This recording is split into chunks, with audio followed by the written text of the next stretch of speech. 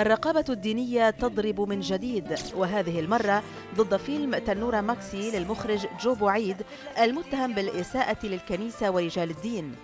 بداية القصة كانت الصيف الماضي عندما طلب المركز الكاثوليكي للإعلام من الأمن العام حذف بعض مشاهد العمل.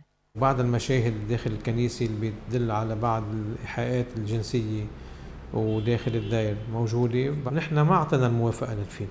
هودي التغييرات اللي انطلبت كلها انعملت وفي عنا ال copy القديمة وال copy الجديدة.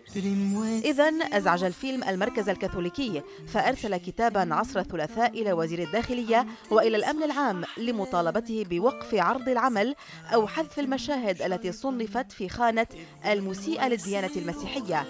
أما المخرج والجهة المنتجة فينفيان التهم الموجهة إليهما. ما بلاقي حالي إلا أنه أنا وجو بناخذ الفيلم وبنروح على الكرسي الرسولي بالفاتيكان.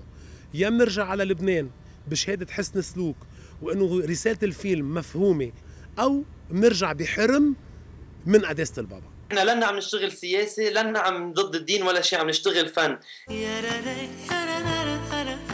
فصل جديد من فصول الرقابة على حرية التعبير في لبنان نشهدها اليوم. فهل يرضخ الأمن العام ويوقف العمل؟